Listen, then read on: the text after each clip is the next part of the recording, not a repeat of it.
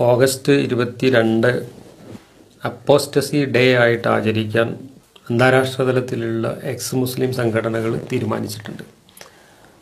അതുകൊണ്ട് ഇന്ന് അപ്പോസ്റ്റസിയെക്കുറിച്ച് അതുമായി ബന്ധപ്പെട്ട ഇസ്ലാമിക ചട്ടങ്ങളെക്കുറിച്ചും ചില കാര്യങ്ങൾ പറയാമെന്നാണ് വിചാരിക്കുന്നത്. ഒരാൾ മതം ഉപേക്ഷിച്ചു കഴിഞ്ഞാൽ അയാളെ എങ്ങനെ കൈകാര്യം ചെയ്യണം എന്നതിനെ സംബന്ധിച്ചുള്ള ഇസ്ലാമിക വിധികൾ എന്താണ് എന്നതിനെക്കുറിച്ചാണ് ചർച്ച ചെയ്യുന്നത്.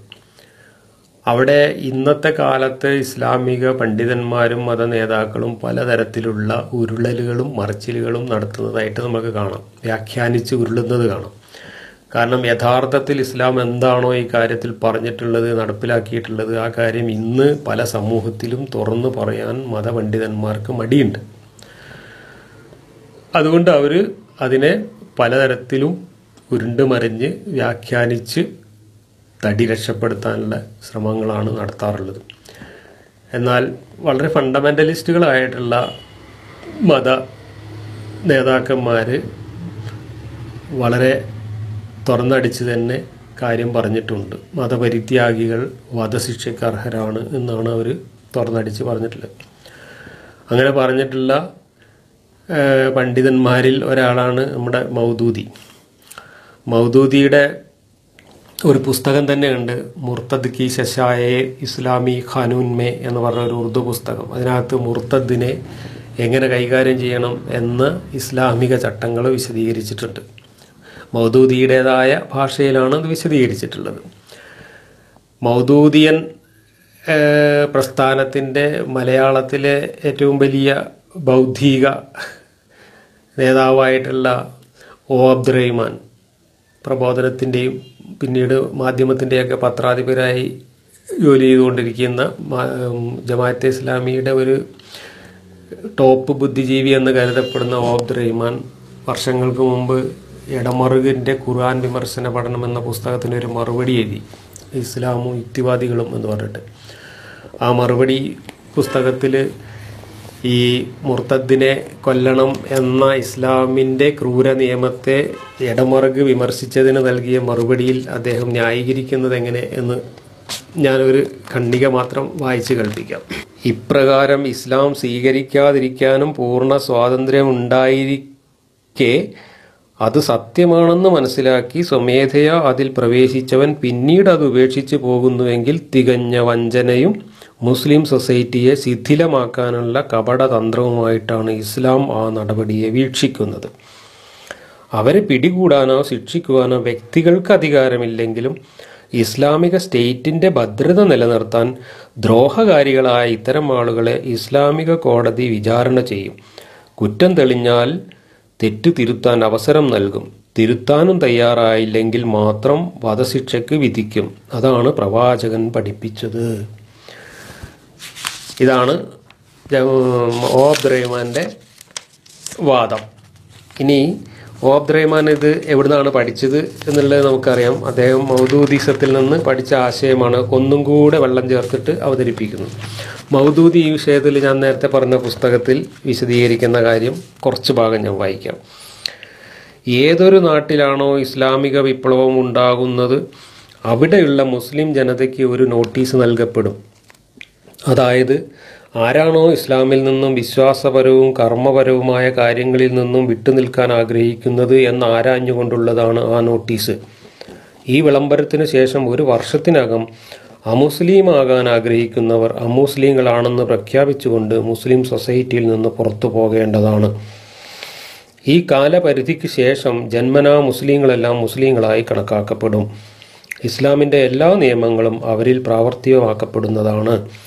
ഇസ്ലാമിലെ എല്ലാ നിർബന്ധ കാര്യങ്ങളും ബാധ്യതകളും നടപ്പാക്കാൻ അവർ നിർബന്ധിതരായി തീരുന്നതാണ് ഇതിനു ശേഷം ആരെങ്കിലും ഇസ്ലാമിക വൃത്തത്തിൽ നിന്ന് പുറത്തു പോകുവാൻ ആഗ്രഹിച്ചാൽ അവർ വധിക്കപ്പെടുന്നതാണ്.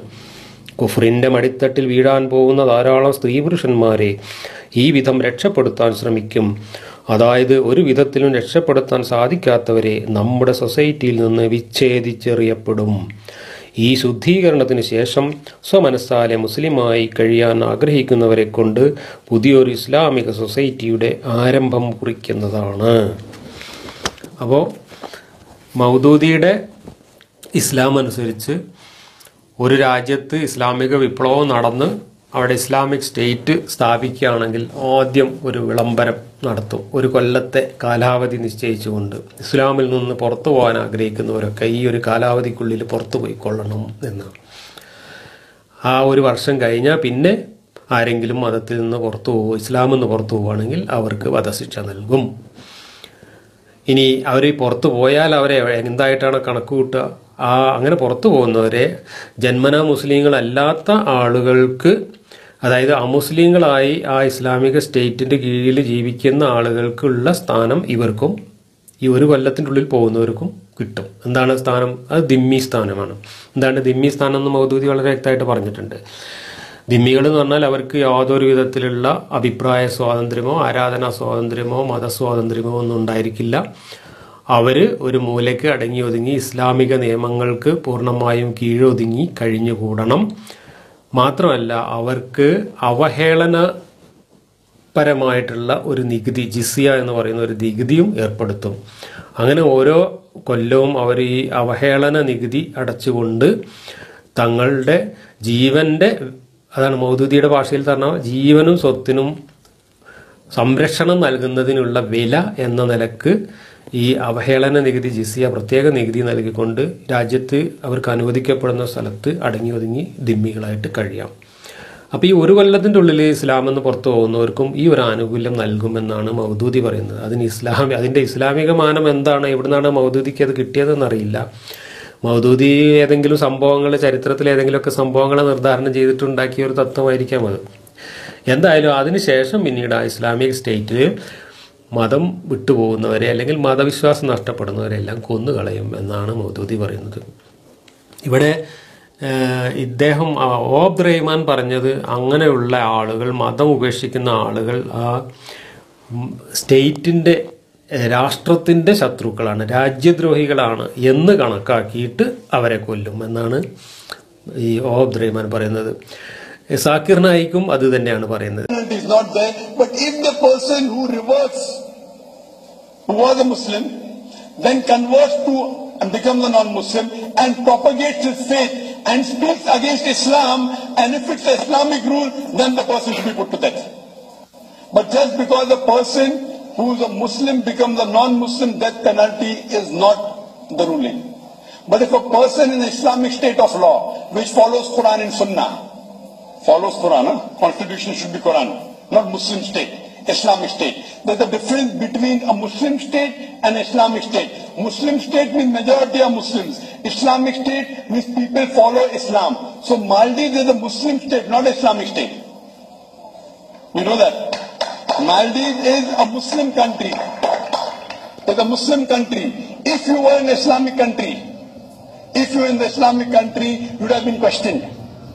We have freedom of expression, but freedom of expression is limited. Is limited. As I told you, I don't know of any country in the world which is 100% Islamic. I know countries which are 100% Muslim, but not 100% Islamic. So in Islam, if a person, a Muslim becomes a non-Muslim, it is not death penalty unless he propagates his news, new religion and speaks against Islam. If he speaks against Islam, in most of the countries, for example, if suppose an army general or a person working in the army of American government or Indian government, if he sells the secrets of the country to the enemy, most of the countries there's punishment of death. There's punishment for death because he's selling the secrets.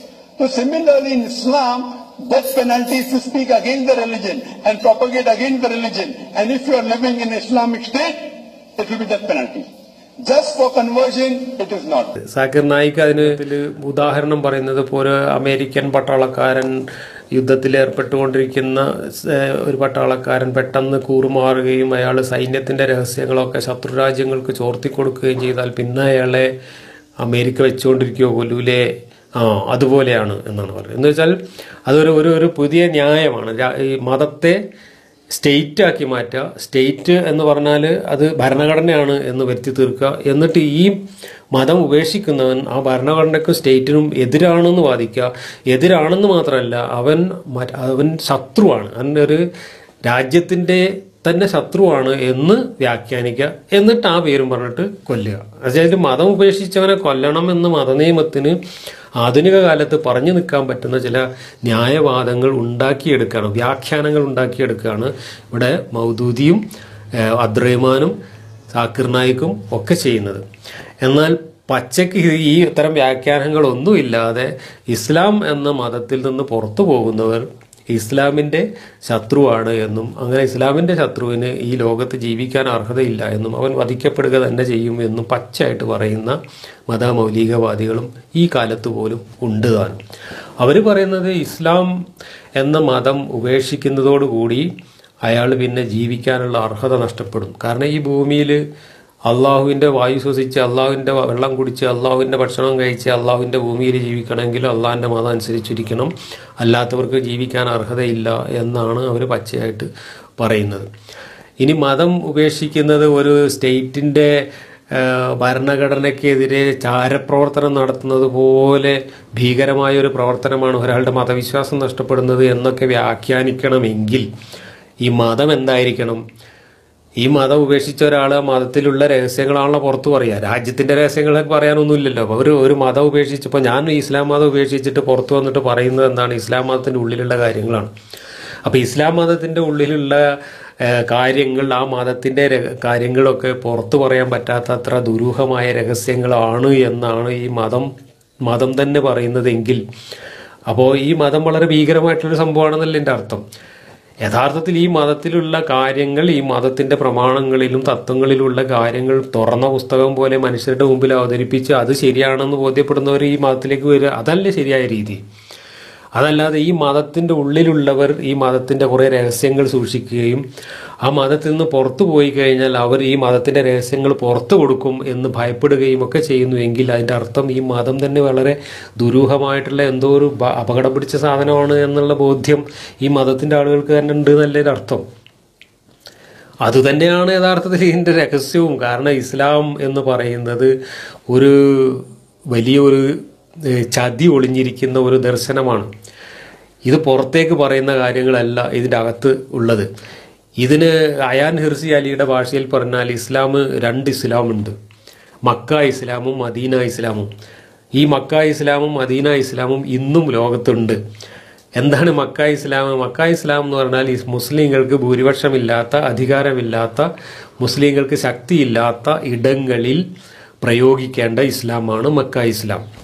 അങ്ങനെയുള്ള ഇടങ്ങളിൽ മുസ്ലിങ്ങൾ ജനാധിപത്യം പറയുന്നു മതേതരത്വം പറയുന്നു liberalism പറയുന്നു മനുഷ്യാവകാശം പറയുന്നു എല്ലാം പറയുന്നു. അങ്ങനെ അവർ മതത്തിന് ഒരു നല്ല മുഖമുണ്ട് എന്ന് ആളുകളെ തെറ്റിദ്ധരിപ്പിക്കുന്നു. എന്നാൽ മദീന ഇസ്ലാം എന്ന് പറഞ്ഞാൽ മുഹമ്മദ് നബി മക്കയിലെ ദൗത്യം കഴിഞ്ഞ് മദീനയിലെത്തിയതിനു ശേഷം സ്വന്തമായി വാളെടുത്ത് അധികാരം സ്ഥാപിച്ചതിന് ശേഷം അവിടെ നടപ്പിലാക്കിയ ഇസ്ലാമാണ്. ആ ഇസ്ലാം എന്താണ് എന്ന് അറിയണമെങ്കിൽ നമ്മൾ ഇന്ന് ആ ഇസ്ലാം ഇന്ന് ലോകത്ത് ആരുടെ കയ്യിലാണുള്ളത് വെച്ചാൽ കടുത്ത ഇസ്ലാമിക മൗലികവാദ ഭരണകൂടങ്ങളുള്ള രാജ്യങ്ങളിലും അതുപോലെ കടുത്ത മതമൗലികവാദം പറയുന്ന ഭീകരവാദ സംഘടനകളിലും ഒക്കെ നോക്കിയാൽ നമുക്ക് മദീന ഇസ്ലാമിനെ കാണാൻ പറ്റും. ഇപ്പോൾ ലോകത്ത് ഇന്ന് പ്രവർത്തിച്ചുകൊണ്ടിരിക്കുന്ന ഇരുന്നൂറിൽ പരം ഭീകര സംഘടനകളുണ്ട് ഈ ഐ എസ് ഐ എസും താലിബാനും അൽ ഖ്വയ്ദയും ബോക്കോ ഹറാമും പോലെയുള്ള ഇരുന്നൂറിൽ പരം ഭീകരവാദ സംഘടനകൾ ലോകത്തിന്റെ പല ഭാഗത്തായി പ്രവർത്തിച്ചുകൊണ്ടിരിക്കുന്നു. അവർ ലോകത്ത് എല്ലായിടത്തും പോയിട്ട് അക്രമങ്ങൾ നടത്തും ആളുകളെ കൊല്ലുന്നു പൊട്ടിത്തെറിക്കുന്നു വേൾഡ് ട്രേഡ് സെന്റർ തകർക്കുന്നു ഇങ്ങനെയുള്ള സംഭവങ്ങളെല്ലാം നടത്തിക്കൊണ്ടിരിക്കുന്നു. അവരൊക്കെ യഥാർത്ഥത്തിൽ നടപ്പിലാക്കുന്നത് മദീന ഇസ്ലാമാണ്. അതേസമയത്ത് ഇന്ത്യയിലും കേരളത്തിലും ഒക്കെയുള്ള മുസ്ലിങ്ങൾ ഇവിടെ വയതു പറഞ്ഞു കിടക്കുന്നത് മക്ക ഇസ്ലാമാണ്. അപ്പോൾ മക്ക ഇസ്ലാം ഒരു കാപഢ്യമാണ്. അത് തങ്ങൾക്ക് ഭൂരിപക്ഷം ലഭിക്കുന്നത് വരെ തങ്ങൾക്ക് അധികാരം ലഭിക്കുന്നത് വരെ മറ്റുള്ളവരെ കബളിപ്പിക്കാൻ വേണ്ടി കൊണ്ടു നടക്കുന്ന ഒരു ഇസ്ലാമാണ് മക്ക ഇസ്ലാം. ആ ഇസ്ലാം ഒരു ചതിയൻ ഇസ്ലാമാണ്. യഥാർത്ഥ ഇസ്ലാം മദീന ഇസ്ലാമാണ്. ആ മദീന ഇസ്ലാമാണ് ലോകത്ത് ഇവർ ഭൂരിപക്ഷം നേടിക്കഴിഞ്ഞാൽ അധികാരം നേടിക്കഴിഞ്ഞാൽ ഇവർ നടപ്പിലാക്കുക. ആ മദീന ഇസ്ലാം നടപ്പിലാക്കിയാൽ ചെയ്യേണ്ട കാര്യങ്ങളാണ് മൗദൂദി പാകിസ്ഥാനിൽ പോയിട്ട് എഴുതിയത്. ഈ പുസ്തകം ഞാൻ നേരത്തെ പറഞ്ഞ മുർത്തദിന്റെ ശിക്ഷ വിധിക്കുന്ന പുസ്തകമൊക്കെ മൗദൂദി പാകിസ്ഥാനിൽ പോയിട്ട് ഉറുദുവിൽ എഴുതിയ പുസ്തകമാണ്. കാരണം ആദ്യം മൗദൂദി ഇന്ത്യയിലായിരുന്ന സമയത്ത് അങ്ങനെയുള്ള പുസ്തകങ്ങൾ എഴുതിയിട്ടില്ല. അപ്പോൾ പാകിസ്ഥാനിലെത്തിയോടുകൂടി അവിടെ മുസ്ലിം രാജ്യമാണ് മുസ്ലിങ്ങൾക്ക് ഭൂരിപക്ഷമുള്ള സ്ഥലത്താണ്. അവിടെ പറയേണ്ട കാര്യങ്ങൾ അവിടെ പറയുക. മുസ്ലിങ്ങൾക്ക് ഭൂരിപക്ഷം ഇല്ലാത്ത കാര്യങ്ങൾ പറയേണ്ട മക്ക ഇസ്ലാം ഇവിടെ പറയുക എന്നുള്ള ഈ ചതിയൻ സിദ്ധാന്തം ആണ് ഇസ്ലാം എന്നതുകൊണ്ടാണ് ഇസ്ലാമിൽ നിന്ന് പുറത്തു പോയാൽ അവരെ കൊല്ലണം എന്ന് പറയുന്നത്. കാരണം പുറത്തു പോയാൽ ഈ ചതി പുറത്താവും. അപ്പൊ ഈ ഇങ്ങനെയുള്ള ഒരു ചതിയൻ ദർശനമാണ് ഇസ്ലാം എന്ന കാര്യം ഇസ്ലാമിന് പുറത്തുള്ളവർ അറിയാതിരിക്കാൻ വേണ്ടിയിട്ട് കൂടിയാണ് മുർത്തതായവരെ പെട്ടെന്ന് കൊന്നുകളയുക എന്ന നിയമം. ആ അത് ഭയപ്പെട്ടിട്ട് ആരും ഇസ്ലാമിൽ നിന്ന് പുറത്തു പോവാതിരിക്കാൻ വേണ്ടിയിട്ടും ഇനി വിശ്വാസം നഷ്ടപ്പെട്ടാൽ തന്നെ സാക്കിർ നായിക്ക് പറയുന്നത് പോലെ വിശ്വാസം നഷ്ടപ്പെട്ടതുകൊണ്ട് മാത്രം കൊല്ലൂല. മറിച്ച് ഇസ്ലാമിനെ വിമർശിക്കാൻ തുടങ്ങിയാൽ അല്ലെങ്കിൽ മറ്റു മതം പ്രചരിപ്പിക്കാൻ തുടങ്ങിയാൽ കൊല്ലുമെന്നാണ് സാക്കിർ നായിക്ക് പറയുന്നത്. അങ്ങനെ മതം വിമർശിക്കുന്നവരെ കൊല്ലണമെന്ന് പറയുന്നതും മതത്തെ വിമർശിക്കാതെ വിശ്വാസം നഷ്ടപ്പെട്ടാൽ മിണ്ടാതെ മുനാഫിക്കായിട്ട് കഴിഞ്ഞുകൂടിയാൽ കുഴപ്പമില്ല. അവരെ ജീവിക്കാൻ അനുവദിക്കാം എന്ന് പറയുന്നതും ഒക്കെ ഈ ഒരു ചതിയൻ ദർശനത്തിന്റെ ഭാഗമാണ്. അപ്പോൾ ചുരുക്കി പറഞ്ഞാൽ ഇസ്ലാം എന്നത് മനുഷ്യരോട് തുറന്നു പറയാൻ പറ്റാത്ത എന്തൊക്കെയോ ദുരൂഹതയും ചതിയും നിറഞ്ഞ ഒരു ദർശനമാണ് എന്ന് അല്ലെങ്കിൽ ഇസ്ലാം അങ്ങനെയാണ് എന്ന യാഥാർത്ഥ്യത്തിന്റെയാണ് ഈ മുർത്തത്തിനോടുള്ള സമീപനത്തിലൊക്കെ നമ്മൾ കാണുന്നത്. ഈ കാര്യത്തിൽ പോലും മുഹൂർത്തത്തിന് എന്ത് ചെയ്യണമെന്ന കാര്യത്തിൽ പോലും എല്ലായിടത്തും മുസ്ലിങ്ങൾ ഒരേ അഭിപ്രായം പറയാതിരിക്കുന്നതും അതുകൊണ്ടാണ്. കാരണം മക്ക ഇസ്ലാം ഉള്ളിടത്ത് അവർ കൊല്ലണം കൊല്ലണമെന്ന് പറയില്ല. മദീന ഇസ്ലാം വന്നിടത്ത് അവർ മുഹൂർത്തത്തിനെ കൊല്ലാൻ നിയമം ഉണ്ടാക്കും. ഇന്നിപ്പോൾ ലോകത്ത് പത്ത് പതിമൂന്ന് രാജ്യങ്ങളിൽ വളരെ കൃത്യമായിട്ടുള്ള നിയമമുണ്ട്. മതം ഉപേക്ഷിച്ചാൽ അവരെ കൊല്ലണമെന്ന്. ആ മതം ഉപേക്ഷിച്ചവർ രാജ്യദ്രോഹിയാവണമെന്നൊന്നുമില്ല. രാജ്യദ്രോഹിയാവുന്നത് എപ്പോഴാണ്? ഇപ്പോൾ ഒരു ഒരാളുടെ മതവിശ്വാസം നഷ്ടപ്പെട്ട ഉടനെ അയാൾ രാജ്യദ്രോഹിയാവും. അയാൾ മതത്തിന്റെ ഭരണഘടനയെ അയാൾ തകർക്കാനും ഒറ്റിക്കൊടുക്കാനും പോകുന്നുണ്ടോ? അയാൾ അയാളുടെ വിശ്വാസം നഷ്ടപ്പെട്ടാൽ അയാൾ അയാളുടെ പുതിയ പുതിയ ധാരണകൾക്കനുസരിച്ച് അവിടെ ജീവിക്കാനല്ലേ അയാൾ ആഗ്രഹിക്കുന്നത്? ഇപ്പം നമുക്ക് മതവിശ്വാസം ഇല്ല എന്നുള്ളത് കൊണ്ട് നമ്മൾ ഏതെങ്കിലും രാജ്യത്തിന്റെ ദ്രോഹിയായിട്ടോ അല്ലെങ്കിൽ രാജ്യത്തിന്റെ ശത്രുവായിട്ടോ ഒക്കെ മാറുന്നുണ്ട്. അപ്പോൾ സൗദി അറേബ്യയിൽ പോലും ഒരാൾ മതവിശ്വാസം നഷ്ടപ്പെട്ടു കഴിഞ്ഞാൽ അയാൾ സൗദി അറേബ്യയുടെ ഭരണഘടനക്കും സൗദി അറേബ്യയുടെ രാജ്യ സുരക്ഷയ്ക്കൊക്കെ എതിരായിട്ട് പ്രവർത്തിക്കുന്നത് എങ്ങനെ? അയാളെ എനിക്ക് മതവിശ്വാസം ഇല്ലാതെ അയാൾ നിസ്കാരം നോമ്പൊക്കെ നിർത്തി അയാൾ അയാളുടെ കാര്യങ്ങൾ നോക്കി ജീവിക്കല്ലേ ചെയ്യുള്ളൂ. ഇന്ന് അങ്ങനെയാണോ? ലോകത്ത് മനുഷ്യൻ മനുഷ്യന്റെ ഈ വിശ്വാസ സ്വാതന്ത്ര്യം അഭിപ്രായ സ്വാതന്ത്ര്യം എന്നൊക്കെ പറയുന്നത് ഇന്ന് എത്ര മനോഹരമായിട്ടുള്ള ഒരു സങ്കല്പമാണ്. ലോകത്ത് ഇന്ന് മനുഷ്യരെല്ലാവരും ജനാധിപത്യത്തിലാണ് വിശ്വസിക്കുന്നത്. ജനാധിപത്യത്തിലൂടെ മനുഷ്യൻ മൾട്ടി കൾച്ചറലിസത്തിലേക്കാണ് മുന്നേറിക്കൊണ്ടിരിക്കുന്നത്. ഇപ്പോൾ ഇന്ത്യ പോലുള്ള രാജ്യത്തൊക്കെ നോക്കൂ ഇവിടെ എത്രയോ മതങ്ങളുണ്ട് വിശ്വാസങ്ങളുണ്ട് ആചാരങ്ങളുണ്ട് സംസ്കാരങ്ങളുണ്ട് ഭാഷകളുണ്ട്. ഇതെല്ലാം ഉണ്ടായിരിക്കെ അവരെ അതെല്ലാം കൂടെ ഒരുമിച്ച് കൊണ്ട് പരസ്പര സ്നേഹത്തോടു കൂടി ഇതെല്ലാം പങ്കുവെച്ചുകൊണ്ട് ജീവിക്കുമ്പോഴാണ് ഇന്ത്യ എന്നുള്ളത് ഒരു സുന്ദര രാഷ്ട്രമായി മാറുന്നത്. ഈ വൈവിധ്യമാണ് ഇന്ന് മനുഷ്യന്റെ സാമൂഹ്യ ജീവിതത്തിലെ ഏറ്റവും വലിയ സൗന്ദര്യം എന്ന് പറയുന്നത്. ആ സൗന്ദര്യത്തെ നേരെ പല്ലിളിച്ച് കാണിക്കുകയും കുഞ്ഞനും കാണിക്കുകയും ചെയ്യുന്ന അങ്ങേയറ്റം പ്രാകൃതവും മനുഷ്യത്വഹീനവുമായിട്ടുള്ള ഒരു ദർശനമാണ് ഈ ചതിയൻ ദർശനമാണ് യഥാർത്ഥത്തിൽ ഇസ്ലാം മുന്നോട്ട് വയ്ക്കുന്നത്. അതുകൊണ്ട് തന്നെയാണ് ഇസ്ലാമിൽ ഇത്രയും മനുഷ്യത്വഹീനമായിട്ടുള്ള ജനാധിപത്യ വിരുദ്ധമായിട്ടുള്ള മനുഷ്യാവകാശങ്ങൾക്കെല്ലാം ഘടകവിരുദ്ധമായിട്ടുള്ള ഇത്തരം ചട്ടങ്ങളും നിയമങ്ങളും നിലനിൽക്കുകയും അതിനെ ഈ രീതിയിൽ വളച്ചും തിരിച്ചും ന്യായീകരിക്കേണ്ടി വരികയും ഒക്കെ ചെയ്യുന്നത് ഇതുകൊണ്ടാണ്. അപ്പോൾ നമ്മൾ എന്താണ് ഈ കാലഘട്ടത്തിൽ ചെയ്യേണ്ടത്? ഈ കാലഘട്ടത്തിൽ നിലനിൽക്കാൻ അർഹതയില്ലാത്ത ഇത്തരം ദർശനങ്ങളെ നമ്മൾ ഉപേക്ഷിച്ച് മനുഷ്യരാവുക തന്നെയാണ് വേണ്ടത്. ഇത് പറയുമ്പോൾ ഇത് ലോകത്ത് നോക്കൂ ലോകത്ത് ഇന്ന് എഴുന്നൂറ് കോടിയിൽ പരം മനുഷ്യരുണ്ട്. അതിൽ അറുന്നൂറ് കോടി മനുഷ്യരും ഈ മുസ്ലിങ്ങളല്ല. ഒരു ഈ ഏഴിലൊന്നോ അല്ലെങ്കിൽ ആറിലൊന്നോ മാത്രമേ ഈ മുസ്ലിങ്ങൾ എന്ന് പറയുന്ന സമുദായത്തിൽപ്പെട്ട ആളുകളുള്ളൂ. അതിൽ തന്നെ വിശ്വാസികൾ എത്ര ഉണ്ട് നമുക്ക് അളക്കാൻ പറ്റില്ല. വിശ്വാസികളുടെ എണ്ണം നമുക്ക് അളന്ന് കണ്ടുപിടിക്കാൻ പറ്റില്ല. വിശ്വാസികൾ വളരെ കുറച്ചേ ഉണ്ടാവുള്ളൂ. അതിൽ തന്നെ വിശ്വാസത്തിന്റെ തന്നെ ഒരുപാട് ലെവലിലുള്ള വിശ്വാസങ്ങളുണ്ട്. വളരെ മൃദുവായ വിശ്വാസമുള്ളവരുണ്ട്. വളരെ തീവ്രമായ വിശ്വാസങ്ങളുണ്ട്. അങ്ങനെ വിശ്വാസം തന്നെ പല തട്ടുകളിലാണ്. അപ്പോൾ നമ്മൾ ഈ ഒരു ലോക ജനസംഖ്യയിൽ വെറും ആറിലൊന്നോ ഏഴിലൊന്നോ വരുന്ന ഒരു ഒരു ജന ജനത മാത്രമാണെന്ന് ലോകത്തുള്ളത്. അവർക്ക് മാത്രമേ അല്ല ഈ ദൈവത്തിന്റെ ശ്വാസം ദൈവത്തിന്റെ വായു ശ്വസിച്ചുകൊണ്ടും വെള്ളം കുടിച്ചുകൊണ്ടും ഇവിടെ ജീവിക്കാൻ അർഹതയുള്ളൂ മറ്റവരൊന്നും ജീവിക്കാൻ അർഹതയില്ല എന്നൊക്കെ പറയുന്നത് എത്രമാത്രം വൃത്തികെട്ട വാദമാണ്. ഇനി അങ്ങനെയാണെങ്കിൽ ഈ ഈ ലോകത്തെ ജീവിതം തന്നെ ഈ ഒരു ചതിക്കുഴിയാണെന്നും ഈ ലോകത്തെ ജീവിതം ഒരു പരീക്ഷണമാണെന്നും ഇവിടെ മനുഷ്യർക്ക് സമാധാനമായി സന്തോഷമായി ജീവിക്കാൻ വേണ്ടി ഉള്ളതല്ല എന്നുമാണ് ഇസ്ലാമിന്റെ ഒരു അടിസ്ഥാന വിശ്വാസം. ഖുറാൻ തന്നെ അതാണ് പറയുന്നത്. മത്താവുൻ ഉറൂർ എന്നാണ് പറഞ്ഞിരിക്കുന്നത്. ചതിക്കാനുള്ള വിഭവങ്ങളാണ് ഇവിടെ ഒരുക്കി വെച്ചിട്ടുള്ളത്. അപ്പോൾ ഇവിടെയുള്ള വിഭവങ്ങളിൽ ആകൃഷ്ടരായി ഇവിടുത്തെ ജീവിതം സന്തോഷകരമാക്കാൻ വേണ്ടി മനുഷ്യൻ നടത്തുന്ന എല്ലാ ശ്രമങ്ങളും ഈ ചതിയിൽ വീണു പോകലാണ് അതോടുകൂടി അയാൾ പരലോകത്തെ ജീവിതം നഷ്ടപ്പെടുമെന്നാണ് പറയുന്നത്. അങ്ങനെ പരലോകത്ത് നമുക്ക് ഒരു സ്വർഗരാജ്യം കിട്ടാൻ വേണ്ടി ഇഹലോകത്തുള്ള ഈ ചതിക്കുഴിയിലൊന്നും പെടാതെ ഇവിടെ സന്തോഷവും ഇവിടെ സമാധാനവും ഇവിടുത്തെ വിഭവങ്ങളും ഒന്നും നമ്മൾ ശ്രദ്ധിക്കാതെ നമ്മൾ ഈ മതം പറയുന്ന ഭീകര പ്രവർത്തനങ്ങളെല്ലാം നടത്തി ജീവിക്കണമെന്നാണ് ഈ മതം ആഹ്വാനം ചെയ്യുന്നത്. അങ്ങനെയാണെങ്കിൽ ഈ മതക്കാരോട് ഞങ്ങളെപ്പോലുള്ള ആളുകൾക്ക് പറയാനുള്ളത് ഞങ്ങൾ ഈ ലോകത്ത് ജീവിക്കാനാണ് ആഗ്രഹിക്കുന്നത്. ഈ ലോകത്ത് സുഖമായും സന്തോഷമായും സമാധാനമായും ജീവിക്കാൻ ആഗ്രഹിക്കുന്നവരാണ് ഈ ലോകത്തുള്ള മഹാഭൂരിപക്ഷം മനുഷ്യരും. ആ മഹാഭൂരിപക്ഷം വന്ന മനുഷ്യരെയും ഇവിടെ സമാധാനമായി ജീവിക്കാൻ അനുവദിക്കുക. നിങ്ങൾക്ക് ഈ ജീവിതം വെറും ചതിക്കുഴിയും ഇത് ഇത് വെറും പരീക്ഷണശാലയുമാണെങ്കിൽ നിങ്ങൾ ആ പരീക്ഷണത്തിൽ മറ്റുള്ളവരെ ഉപദ്രവിക്കാതെ സ്വയം പോയി പൊട്ടിത്തെറിച്ചോളൂ. സ്വയം പോയി പൊട്ടിത്തെറിച്ച് എത്രയും പെട്ടെന്ന് നിങ്ങൾ സ്വർഗത്തിലെത്താനുള്ള വഴി നോക്കൂ. എന്നിട്ട് ബാക്കിയുള്ളവർക്കെങ്കിലും ഈ ഭൂമി ഒന്ന് സമാധാനമായി ജീവിക്കാൻ വിട്ടുകൊടുക്കൂ എന്നാണ് എനിക്ക് ഇത്തരം ഭീകരവാദം പറയുന്ന ആളുകളോട് പറയാനുള്ളത്. ഇത് പറയുന്നത് വേദനയോടുകൂടിയാണ് പറയാൻ പാടില്ലാത്ത കാര്യമാണ് എങ്കിൽ പോലും പറയേണ്ടി വരികയാണ് ഇത്തരം വാദങ്ങൾ ഉന്നയിക്കുന്നവരോട്. ഇത് പറയാൻ കാരണം എന്താ വെച്ചാൽ ഈ- അടുത്ത മൂന്നാൽ ദിവസം മുമ്പ് പോലും യൂട്യൂബിൽ ഒരു ഒരു വലിയ ദേവാക്കാരൻ എന്താണ് അന്താരാഷ്ട്ര തലത്തിൽ തന്നെ സോഷ്യൽ മീഡിയയിലൂടെ ഇസ്ലാമിന് വേണ്ടി വലിയ ഡിഫൻ ഡിഫൻസ് നടത്തുകയും വലിയ പ്രചാരണം നടത്തുകയും ചെയ്യുന്ന കുറേ ആളുകളുണ്ട്. അവരിൽ ഒരുത്തൻ ഇന്നലെ അടുത്ത ദിവസം ഒരു വീഡിയോയിൽ പച്ചയായിട്ട് പറയാണ്. ഈ നിങ്ങളൊക്കെ ഇപ്പോൾ ഈ ഇസ്ലാമിനെതിരെ പ്രചരണം നടത്തുന്ന ഞാനുൾപ്പെടെയുള്ള ലോകത്തിന്റെ പല ഭാഗത്തും ഈ ഇസ്ലാമിനെതിരെ പ്രചരണം നടത്തുന്ന സോഷ്യൽ മീഡിയയിലെ യൂട്യൂബേഴ്സും അതുപോലെയുള്ള ആളുകളും ഉണ്ട് അവരോടൊക്കെ പറയാണ് നിങ്ങളെല്ലാം കൊല്ലപ്പെടേണ്ടവരാണ്. നിങ്ങളെ മുഴുവൻ കൊല്ലുക എന്നുള്ളത് തന്നെയാണ് ഇസ്ലാമിന്റെ ലക്ഷ്യം. അതിൽ ഞങ്ങൾ അഭിമാനം കൊള്ളുന്നു എന്നൊക്കെയാണ് പച്ചയായിട്ട് യൂട്യൂബിലൂടെ വിളിച്ചു പറയുന്നത്.